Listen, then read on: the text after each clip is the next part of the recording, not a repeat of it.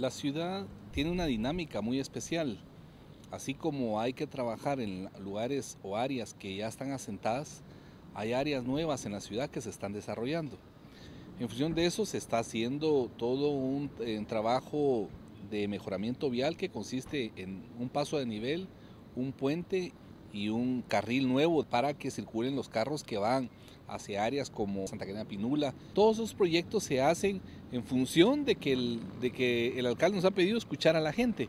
En el invierno vamos a trabajar la parte eh, de estructuras y durante el verano vamos a trabajar toda la parte de corte. Eh, estamos trabajando, es parte del desarrollo que, que tiene la ciudad, va variando de, dependiendo de zona en zona pero es lo necesario para que la ciudad tenga esa conectividad que se necesita en todos los sectores.